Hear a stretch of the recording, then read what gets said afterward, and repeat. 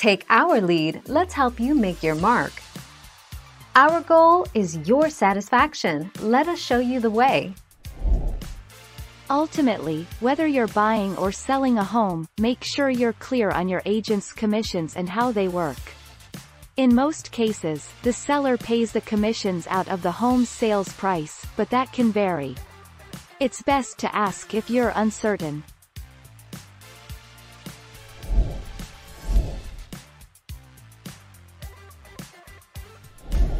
Let's help you make your mark.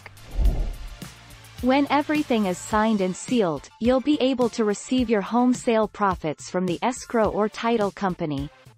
Typically, you can receive the funds through a check or wire transfer. If they want funds wired to their bank account, that's typically within 24 hours of closing, the 9th of September 2018.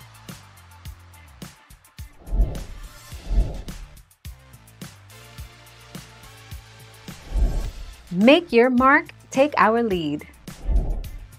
In most cases, the commission is often added to the sales price or incorporated into the offer. In this way, it will be paid from the proceeds at closing and it will not increase your cost. Question number 3. So, how does FSBO work for homebuyers? The 9th of June 2020.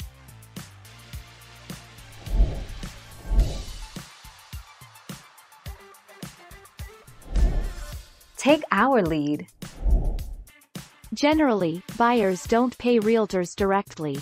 Instead, their compensation comes in the form of a commission on the property's final sale price. Here's what you need to know about real estate commissions when buying a home in Canada. Point 24 November 2020. Thank you for watching. Please subscribe and hit the bell notification.